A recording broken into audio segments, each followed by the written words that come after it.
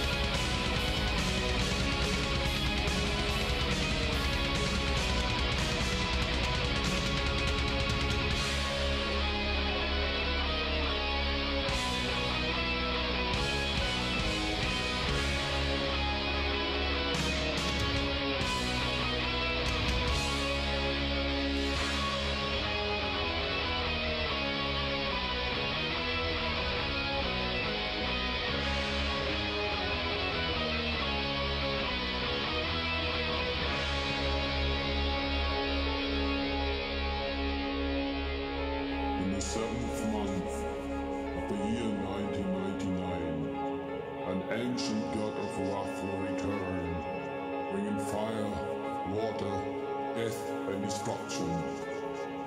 That is the day when man will be judged for all evil he has done, and he will be commanded into the eternal fire.